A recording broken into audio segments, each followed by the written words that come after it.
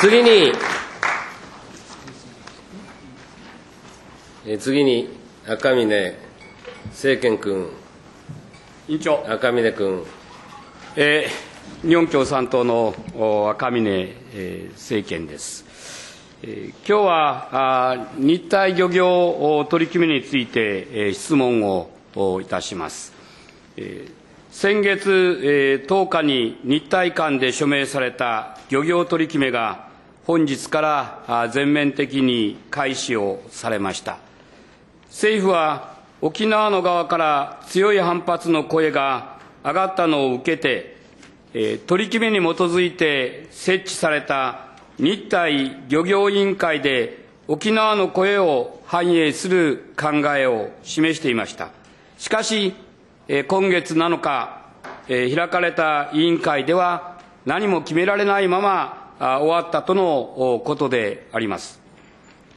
平等互恵の原則に反して一方的に台湾側に譲歩した取り決めが、漁業資源の維持や安全操業に関わるルールさえ決められないままスタートしたわけであります。まず、えー、外務副大臣に伺いますが、7日に開かれた委員会では、日本側は何を主張し、どのような結果になったのか、その点をご説明していただけますか。鈴木外務副大臣。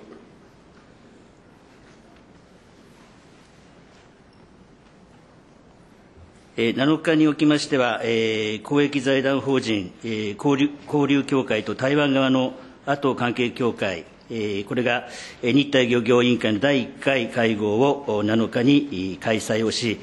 取り決め適用水域における操業の取り扱い等について、意見を行ったものと承知をいたしております。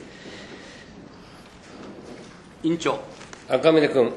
えー、操業ルール、えー、その他、そういうのを決めたんですか？鈴木外務副大臣。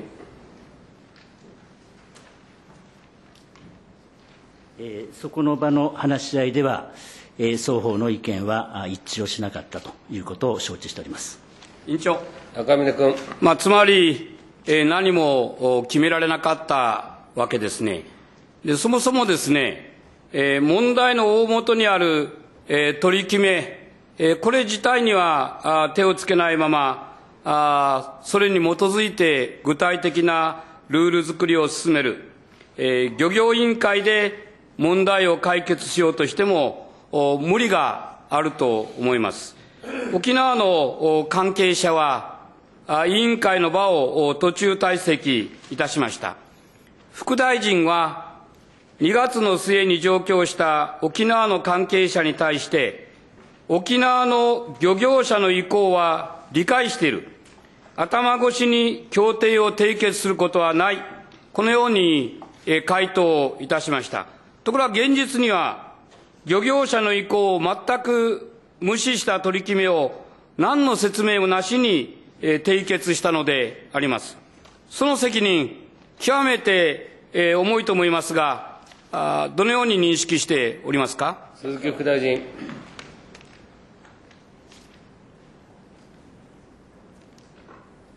えー、先生ご指摘のとおり、2月にえ沖縄の漁業関係者の方々が私のところに陳情に参りました。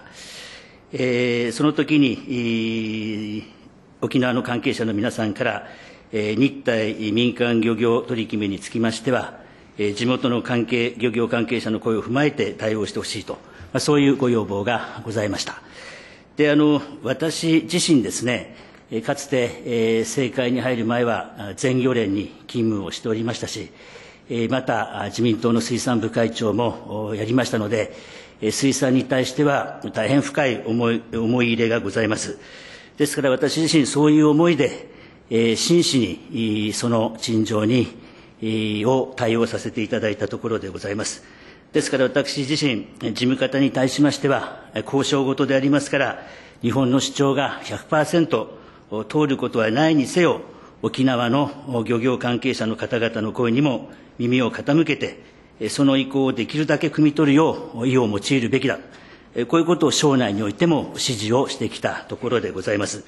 あの先生、今、頭越しとこうおっしゃいましたけれども、実際2月には外務省の担当参事官が沖縄を訪問をして、漁業協同組合の組合長さん、はじめ関係者とも膝を突き合わせて、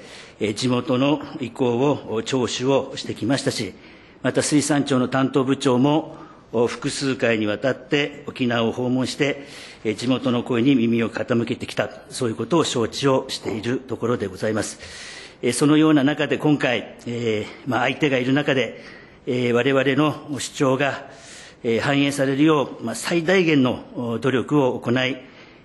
たわけでありますが、厳しい交渉の結果、最終的に本取り決めが作成されたと、そのように承知をしております。委員長。赤嶺君。鈴木副大臣、水産に従事していた全漁連におられたというなら、なおさらですよ。頭越しに、えー、何度か説明に、えー、行った、しかし締結の直前まで、えー、沖縄の漁民は、あ要望がこんなふうに頭越しに決められるとは考えてもいなかったわけですね。存在そのものが、漁民としての存在そのものが無視された思いでいるんですよ。そういうのを、えー、鈴木副大臣、認識していないんですか？鈴木副大臣。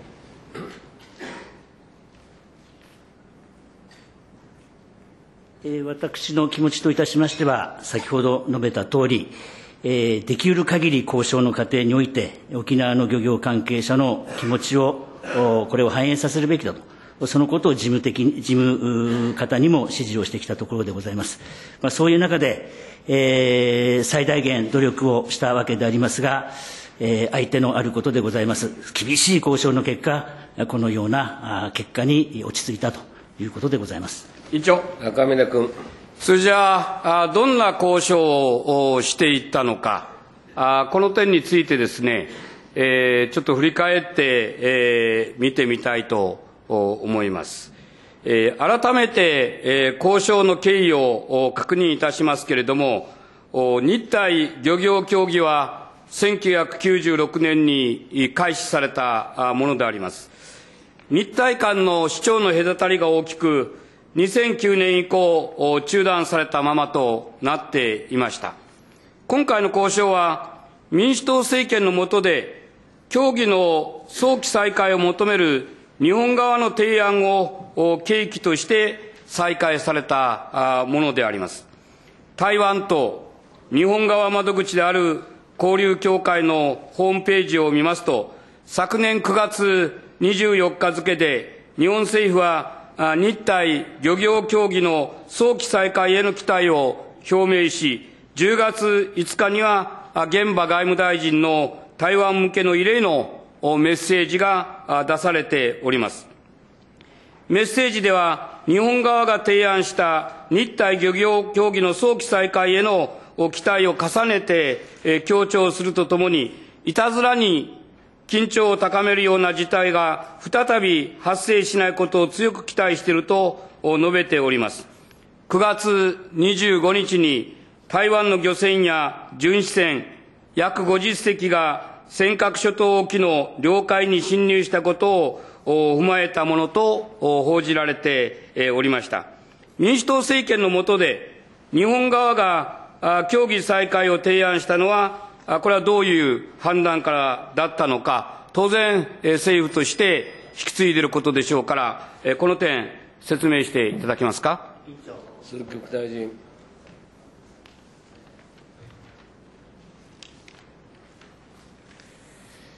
あの先生もご承知のことと思いますけれども、あの海域、従来ですね、日本と台湾との間には、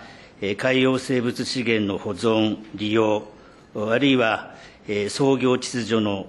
維持を図るための枠組みというものがなかったわけでございます。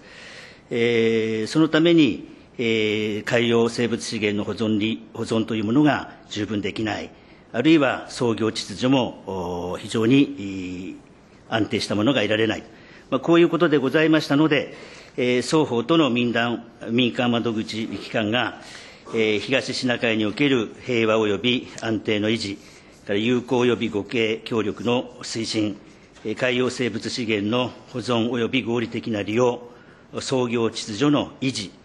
これを図ることを目的として、交渉を重ねてきたところでございます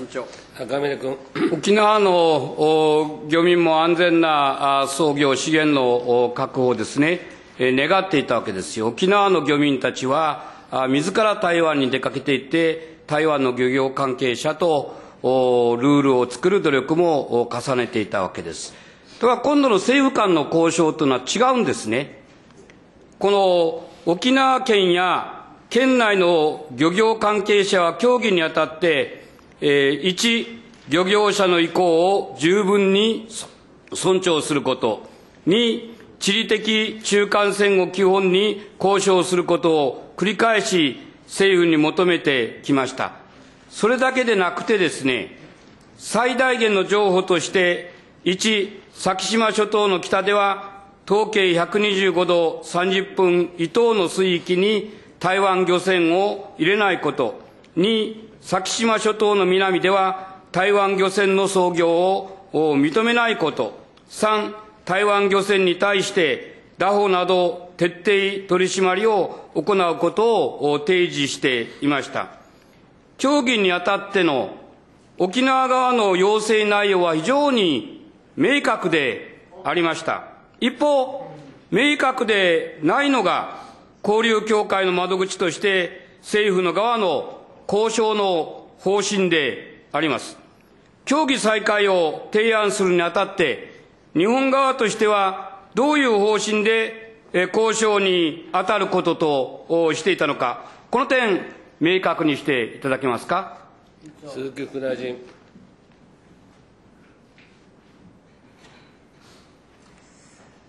このことにつきましては、先ほど申し上げたことのとおりでございます。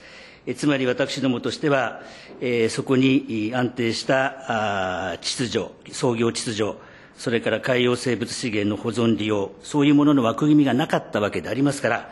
え東シナ海における平和及び安定の維持、友好及び互恵協力の推進、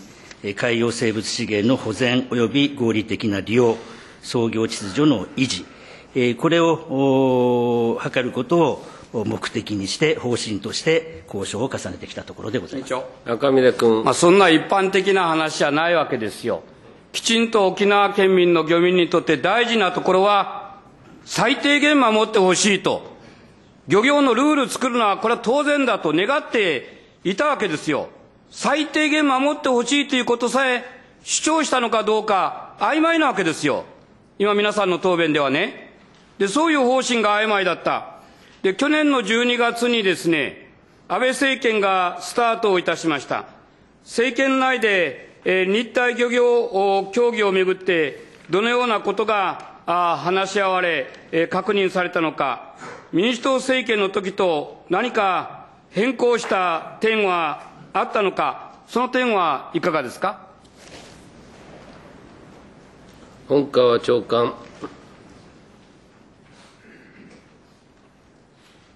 あの私ども水産庁としてもですねあの漁民の方々のご意見を伺うということで昨年あの豊かな海づくり大会の時に私も沖縄へ参りましてあの意見交換をさせていただきました。でその中で、えー、皆さんが一様におっしゃったのは先島以南のですね水域については取り組みの対象からぜひ外してほしいということをおっしゃいました。それから当然ながら尖閣の領海についても安全操業を確保してほしいということをおっしゃいました。それから尖閣諸島と先島諸島の間の水域については、双方が入り乱れて操業しておるという実態を踏まえてですね、操業秩序の確立をしてほしいということを伺いました。そういう話を伺った上で、例えば今回は先島以南の水域はですね、協定の対象外にするなど、そのような形で交渉させていただいたという経緯でございます。委員長。赤嶺君。え今、水産庁よく知ってるのに答弁をそらしたんですけどもね、先島以南はそうですよ。しかし、沖縄の漁民たちから、え久米島の久米西、えここの漁場を守ってくれと、それから、あの暫定、え執法船からあはみ出ることがないように、先島北側の漁場を守ってくれ。こういうの、交渉の方針にありました？日本政府の交渉の方針にあったんですか、これ。答えてください。本川長官。答え申し上げます。あの私どもとしては、先島以南を適用対象にしないということについては、あの何としても守りたいという思いでございます。それから先島より北の水域については、あの暫定執法線というものを基本に置きながら、そこに一定の秩序を作るということを目指して取り組んでまいったわけでございます。その結果として、日体の漁業委員会という協議の場が、それまで全くでなかったものができまして、この場において、これからそういうそういう秩序についてですね、話し合いを第1回目やり、残念ながら継続協議になっておりますけれども、粘り強く議論してまいりたいと考えているところでございます。委員長。赤嶺君。あの、操業のおルール、海域は決めたけれども、台湾側は、あ自分たちがあ求めていた以上のお海域をお確保したと。その求めた以上の部分が沖縄側としては大事な漁場だから守ってくれと言ったと。しかしそういう方針なかったわけですね。で、私はあの、官房長官に、えー伺いますけれども、取り決めの内容について、えー沖縄に説明に訪れたあ水産庁の幹部はですね、後ろから早くしろと叱られていたと、このように述べています。官邸があ早期締結迫ったのではありませんか？菅官房長官。まあ、日本とお極めて友好関係にあるこの台湾の間で、先ほどお副大臣からお話がありましたけれども、おこのお海洋資源の保存利用やえー操業秩序の維持、図るための枠組みがなかったと、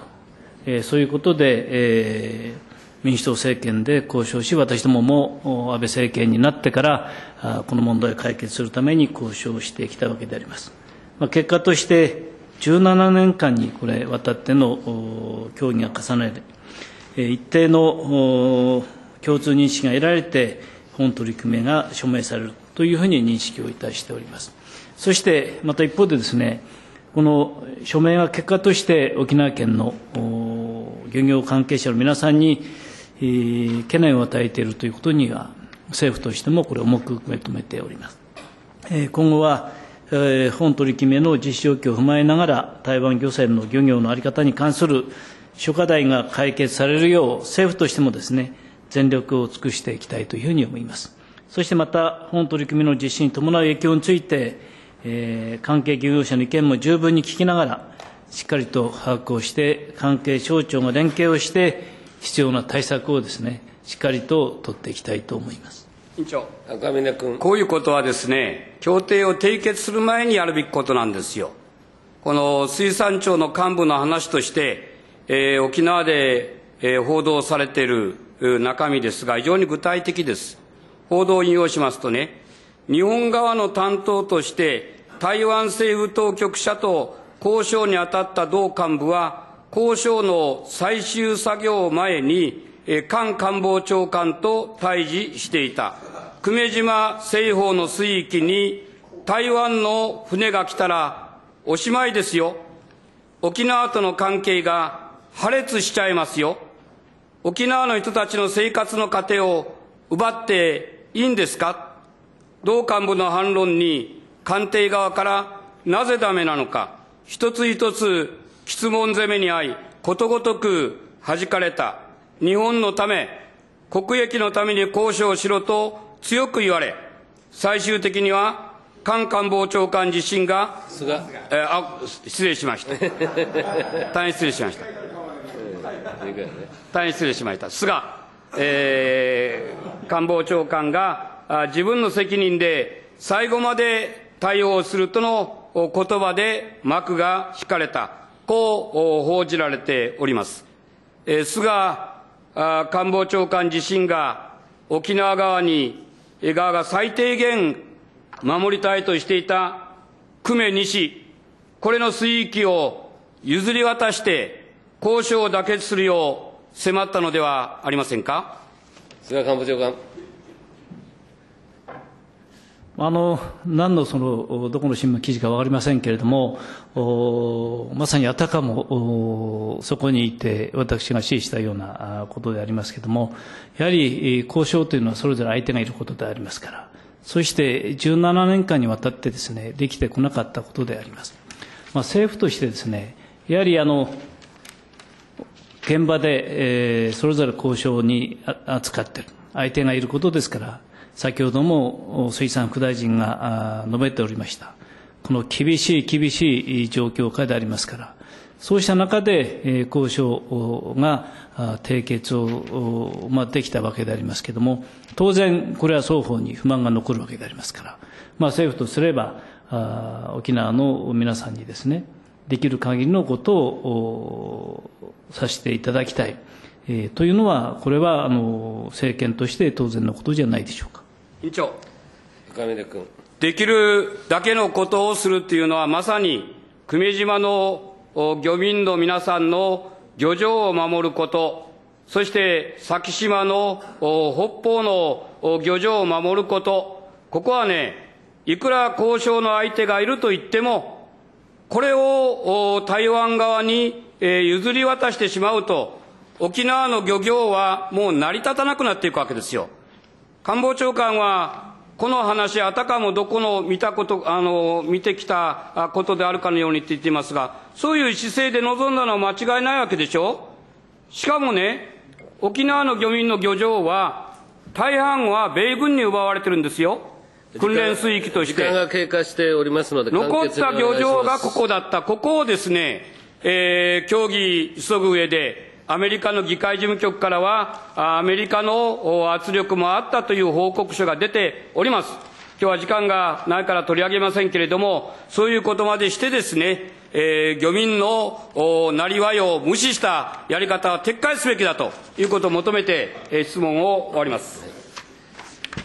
えーこれにて本日の質疑は終了いたしました。